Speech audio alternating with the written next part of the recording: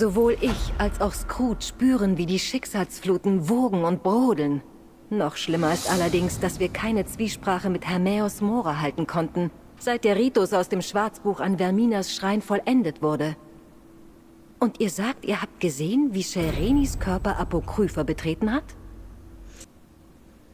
Ja, weil übernahm ihren Körper, nachdem Vollnis Krone sie geopfert hatte. Und damit hallo und herzlich willkommen zurück zu The Elder Scrolls Online. So verschaffte er Vermina Zugang zu Apokrypha und einen Wirtskörper, durch den sie wirken kann. Sie müssen wissen, wo man die Erinnerung findet, nach der sie suchen. Oder sie haben zumindest einen recht klaren Verdacht. Apokrypha ist unendlich. Ohne die Führung des Schicksals sind wir bar jeden Lichts in der Dunkelheit verloren. Es muss eine Möglichkeit geben, ihnen zu folgen, Lehrer Miel. Fäulniskrone und Torvesart haben Wege, unentdeckt zu bleiben. Es bietet sich nur ein gangbarer Weg an. Wir müssen Meisterin Scherini fragen, wohin Vermina ihren Körper gebracht hat. Werdet ihr das zu Ende bringen, Entsandte? Ehe das Unglück eintreten kann, das Mora vorhergesehen hat? Ich stehe euch bei, Lehrer Miel. Doch wie können wir Meisterin Scherini irgendetwas fragen? Sie ist tot.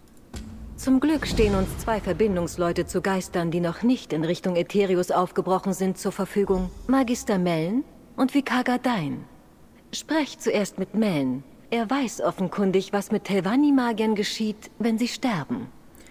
Erzählt mir mehr über Atherius und warum ihr meint, dass wir mit Meisterin Shelrinis Geist in Verbindung treten können. Aetherius ist die unsterbliche Ebene.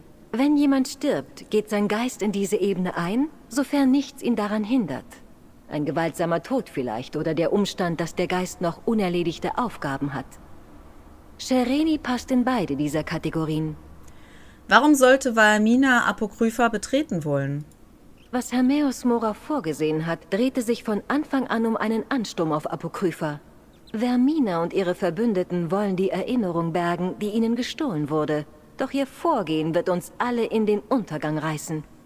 Wir müssen ihr Ziel ermitteln und sie aufhalten. Ihr hattet erwähnt, dass weder ihr noch Skrut die Präsenz von Hermäus Mora spüren könnt. Kennt ihr dieses Gefühl, wenn man die Wärme spürt und weiß, dass die Sonne über einem steht, ohne dass man zu ihr hinaufblicken muss? So fühlt sich Scrooge jeden Tag in den Diensten ihres Meisters. Und es ist, was ich empfinde, wenn ich mit dem Wissenden in Zwiesprache stehe. Jetzt fühlt es sich wie eine Lehre an. Und ihr meint, dies hat etwas damit zu tun, dass Valmina Apokrypha betreten hat? Vielleicht. Wir wissen, dass Fäulniskrone eine alles verderbende Verbindung aus Pestilenz und Traum einsetzt, um nicht im Panoptikum entdeckt zu werden. Vielleicht hat der Ritus mehr bewirkt, als nur einen Weg zu öffnen. Vielleicht hat der Mora von seiner eigenen Ebene abgeschnitten. Lehrer Mills Idee ist gut. Shelrini hat die Antwort, die wir suchen, und ich weiß, wie man sie erreichen kann. Keine Telvanni-Meisterin, die ihr Gewicht in Quama gedärmt wird ist, würde ihren Einfluss auf dieser Ebene ohne einen Kampf aufgeben. Ich habe keinen Zweifel daran, dass wir mit Shelrinis Geist in Verbindung treten können. Ob wir sie aber dazu bringen können, uns zu unterstützen? Nun, das ist eine ganz andere Frage. Wie nehmen wir Verbindung zum Geist von Meisterin Shelrini auf? Wie der Vikar euch berichten kann, untersagt Nekrom die Totenbeschwörung. Doch es gibt keine Regularien gegen eine Unterhaltung mit Toten, die mit jemandem reden wollen. Wir müssen Shalrinis Geist nicht rufen. Wir können einfach zu ihm gehen und um eine Audienz bitten. Und wo finden wir den Geist einer toten Telvanni-Meisterin? Am selben Ort, an dem er mich gefunden hat. In ihrem Turm natürlich. Wir müssen nach Telbaro reisen und ihr Sanktum durchsuchen. Falls ihr Geist noch auf dieser Ebene verweilt, wird sie dort spuken. Oh, und nehmt Gardein mit. Wenn sie ein rachsüchtiger Geist geworden ist, könnte sein Fachwissen erforderlich sein. Mellen, wir können nicht nach Belieben die Toten beschwören. Das ist verboten. Ja, ja, Beschwörungen sind Ketzerei für euren Orden. Doch wenn der Geist schon da ist. Euch zu helfen würde meinen Stand aufs Spiel setzen. Wir würden euch nicht darum bitten, wenn die Lage nicht verzweifelt wäre. Ich... Natürlich helfe ich, Leramil. Ich kehre nach Apokrypha zurück und versuche, Vermina zu finden, während ihr Geister jagt. Ich habe ja nichts Besseres zu tun. Viel Glück in Talbaro, meine Freunde. Kehrt mit allem, was ihr erfahrt, hierher zurück. Sich mit verirrten Geistern herumzuschlagen, ist bei den Hütern der Toten gar nicht gern gesehen. Ich werde nur helfen, weil viel auf dem Spiel steht, doch es widerspricht jedem Aspekt meiner Ausbildung. Geht es bei der Ahnenverehrung nicht vor allem um die Zwiesprache mit jenen, die, die verschieden sind? Das ist ein Aspekt unseres Glaubens, aber nicht die Hauptkomponente. Und es ist anders, wenn man die Katakomben besucht und ein Geist vor einem erscheint. Ich schätze, wenn Shelreni sich entscheidet, mit uns zu sprechen, würde dies nicht zu sehr gegen den Kodex verstoßen. Mellen glaubt, euer Fachwissen könnte noch nützlich sein, wenn wir Meisterin Shelrenis Geist finden. In der Tat, die jüngst Verstorbenen sind oft verwirrt, und diese Verwirrung kann zu Gewalt führen. Ich habe lieber Umgang mit unseren uralten Ahnen. Sie mögen bärbeißig sein, doch sie hatten genug Zeit, sich mit ihrem untoten Dasein abzufinden. Nun gut, wir müssen nach Tel Baro gehen und zwar ist das da oben. Dann würde ich sagen, ich mache mich dann mal eben auf den Weg und wir sehen uns gleich am Zielort wieder.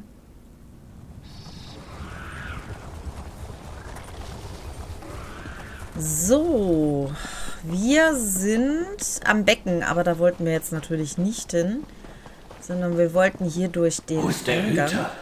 Er hätte schon längst hier sein sollen. Der Turm ist verschlossen. Wir brauchen einen anderen Weg hinein. Telvanni-Türme haben stets mehrere Zu- und Ausgänge. Seht euch um. Ja, hier hinten irgendwo hatte ich was gesehen. Auf der Karte zumindest.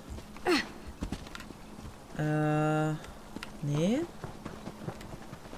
Hier. War doch hier?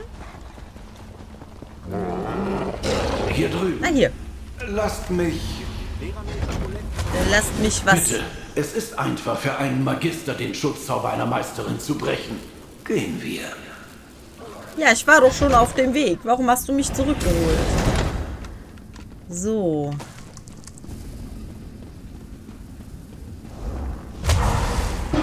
Shelrenis privates Studierzimmer. Ihre Präsenz hier ist stark. Meine Geistersicht erlaubt es euch, sie zu sehen. Nähert euch. Ich werde versuchen, sie ganz zu manifestieren.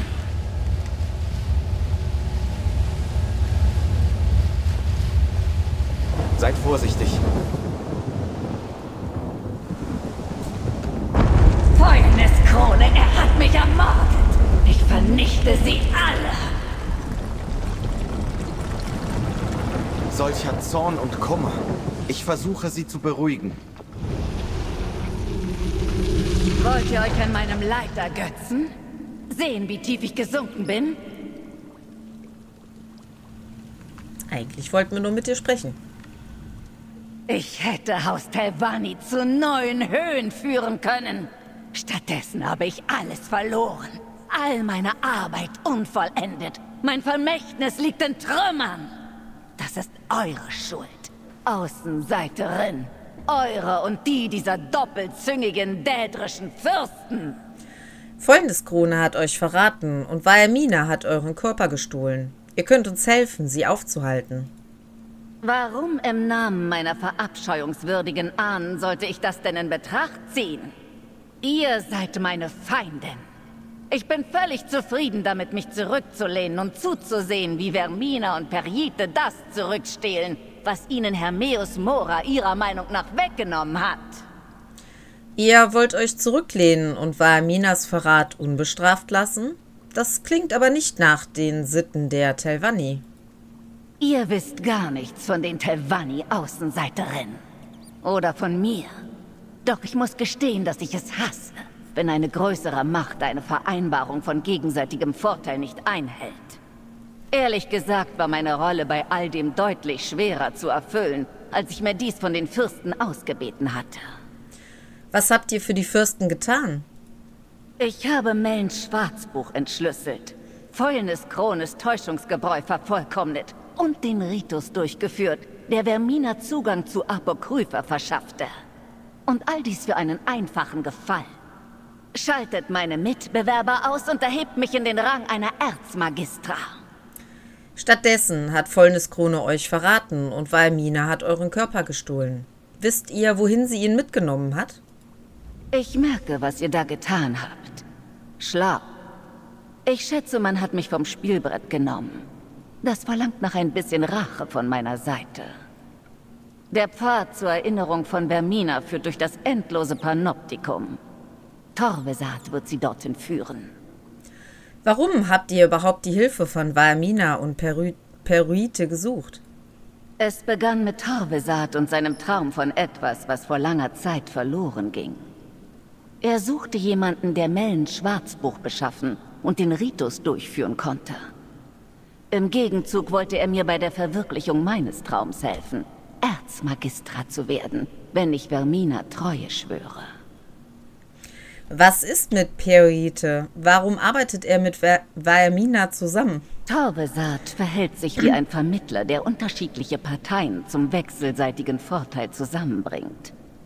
Ich glaube allerdings inzwischen, dass es bei all dem eigentlich immer nur um Torvesat ging. Er verfolgt seine eigenen Pläne. Jedenfalls überzeugte er die Fürsten davon, ihre Differenzen beizulegen und zusammenzuarbeiten. Wisst ihr noch mehr über das Geheimnis, nach dem sie suchen? Ehrlich gesagt war mir das immer recht einerlei. Ich wollte nur tun, was mir aufgetragen wurde und dafür belohnt werden. Stattdessen stieß mir dieser widerliche Fäulniskrone einen Dolch in den Rücken. Sie glauben, Hermeus Mora habe ihnen etwas gestohlen. Uns allen sogar, um genau zu sein. Was genau hat Hermeus Mora gestohlen? Es geht um Torvesats Traum. Er hatte vage Visionen von einem Vermina-Schrein. Er glaubte, das wäre wichtig. Daher bat er Vermina, ihm bei der Erinnerung an den ganzen Traum zu helfen. Als sie dies nicht konnte, erweiterte er seine Liste von Verbündeten. Da kam die verborgene Sippe ins Spiel. Wisst ihr denn nichts genaueres? Hör zu. Vielleicht hat Mora Torvesat sein Lieblingsrezept für Süßkringel gestohlen. Es wäre dem Fürsten des Schicksals zuzutrauen. Er sammelt Wissen, wie das Haus Chlalu Gold hortet. Ich weiß nur, dass Vermina und Periite die Erinnerung zurück wollen. Doch Torvesat will sie noch viel mehr. Wisst ihr, warum Hermeus Mora verstummt ist? Verstummt, sagt ihr? Dann hat mein verbessertes Täuschungsgebräu gewirkt? ich hatte Fäulniskrone ja gesagt, dass ich es schaffe. Was habt ihr getan? Ich habe Fäulniskrones Mischung aus Krankheit und Traum genommen, den Ritus etwas angepasst und dessen Fähigkeit, Dinge zu verbergen, tausendfach verstärkt. Wenn Mora verstummt ist, wirkt es auch auf ihn. Er ist von seiner eigenen Ebene abgeschnitten. Bin ich ein Genie oder nicht? Wie bringen wir das in Ordnung? Oh, fürchtet euch nicht. Man kann einen dädrischen Fürsten nicht sehr lange von seiner Ebene trennen. Es sollte allerdings lang genug sein, damit Vermina sich holen kann, was sie sucht. Natürlich kann niemand sagen, was geschieht, wenn eine Ebene von ihrem Fürsten getrennt wird. Nicht einmal bei einer kurzen Trennung. Ich kann euch eure Übertretungen nicht vergeben, Geist, doch ich kann euch Frieden schenken. Ewige Enttäuschung ist wahrscheinlicher. Erzählen wir Leramil in Nekrom, was wir erfahren haben. Okay, das heißt, wir müssen wieder zurück. Aber vorher äh, hätte ich gerne noch die Schmuckkästchen hier genommen. Die darf man aber nicht nehmen. Dann bleibt das jetzt wohl aus. Gut, dann machen wir uns wieder zurück. Diesmal ohne Portal. Schade. Zurück auf nach Nekrom. Allerdings in der richtigen Tür. Komme ich hier raus oder nicht? Ich komme hier nicht raus. Hier komme ich raus.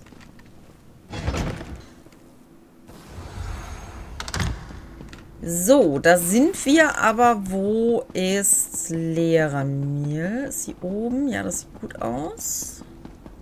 Beruhigt euch, Scoot. Ich bin sicher, Apokrypha geht es nicht so schlecht, wie ihr sagt. Ah, Entsandte. Was ist in Telbaro geschehen? Tja, Scoot hat recht. Ähm, es ist noch schlimmer. Scott ist mit ernüchternden Nachrichten aus Apokrypha zurückgekehrt, während meine eigenen Nachforschungsbemühungen kaum nutzbringender waren. Sagt mir, dass ihr Besseres zu vermelden habt, Entsandte. Meisterin Schereni sagte, Vaermina müsste das endlose Panoptikum betreten, um das Geheimnis zu finden, nach dem sie suchen. Das endlose Panoptikum? Erst suchten sie eine Erinnerung, die es zu ändern gilt, und jetzt suchen sie... Was? Noch eine Erinnerung? Und können sie den Eingang ein weiteres Mal finden? Nun, wir haben ein Ziel. Jetzt brauchen wir nur noch einen Plan. Schwebt euch da etwas Bestimmtes vor, Lehrer Miel? Was ich an Recherchen zustande brachte, hat mir verraten, dass Vermina eine eindrucksvolle Gegnerin sein wird. Doch um Apokrypha ohne Moras Erlaubnis betreten zu können, braucht sie einen Anker und einen Schild. In diesem Fall Meisterin Sherenis Körper. Das wird ihr Untergang sein. Was meint ihr? Sherenis Körper ist sterblich. Wenn wir ihn vernichten, glaube ich, dass selbst Fäulnis Krones Gebräu Vermina nicht mehr vor dem Wissenden verbergen kann. Natürlich gibt es da noch das Problem, dass in Apokrypha völliges Chaos herrscht. Doch ein Problem nach dem anderen. Dann schätze ich, dass wir nach Apokrypha zurückkehren müssen. Gardein, das könnte gefährlich sein. Es wäre mir lieber, wenn ihr hier bleibt, abseits der Gefahr. Ich schwor, das Relikt zu bergen. Und ich kann den Gedanken nicht ertragen, dass ihr euch ohne mich dieser Gefahr stellt. Ähm, also ihr alle. Zum Speien. Läuft da was zwischen den beiden? Ich weiß es ja nicht. Die verhalten sich auf jeden Fall so komisch. Ähm, gut, dann gehen wir jetzt zum endlosen Panoptikum zurück. Jetzt bin ich nur gerade am überlegen